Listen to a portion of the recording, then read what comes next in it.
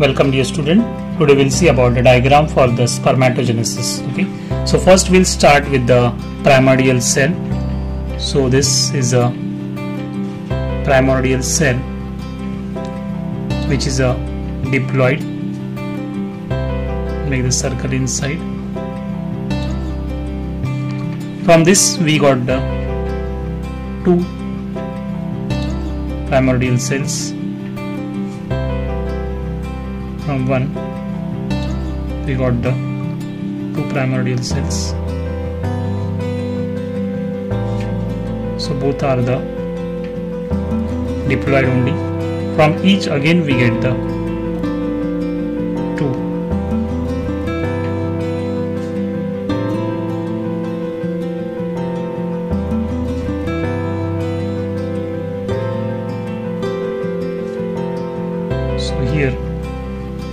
we got the total four which are the spermatogonia. So which are the diploid?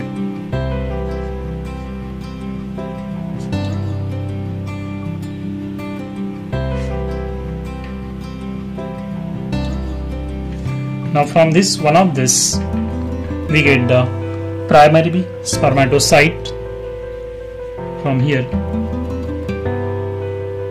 we get the primary spermatocyte which is the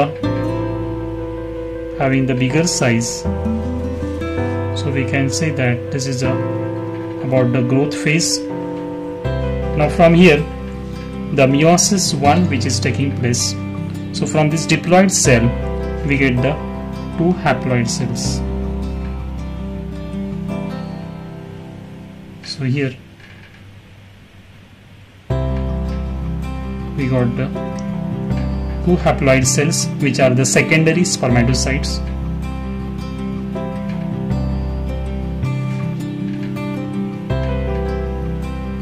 So here we got the two haploid secondary spermatocytes. Now it undergoes the meiosis 2 so from here we get four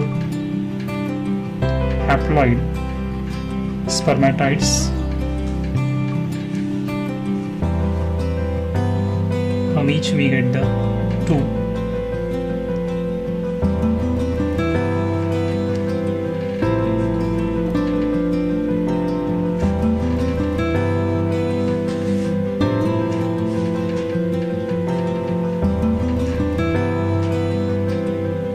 These are the haploid spermatides from this here we'll get the spermatozoa from each we'll get the spermatozoa so we'll make the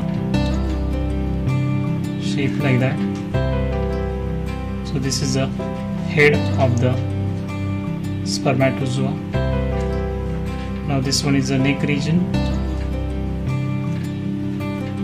Now we'll make the tail region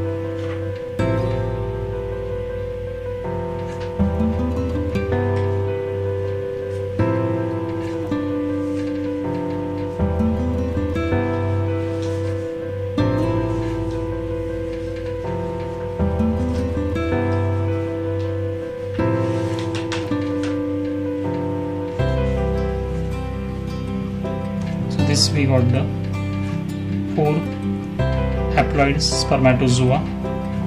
Now we'll label the parts. We'll make the arrow of this and then we'll label the parts. So this is what about the spermatogenesis. We have finished this diagram with the step by step, okay, which is an important diagram which may come for two or three marks, okay, or the description describe the spermatogenesis with the help of the diagram may come for the 4 mark okay? So this everything we have completed. After completing this you have to label all the parts step by step okay? Thank you. If you like my channel subscribe and share with your friends. Thank you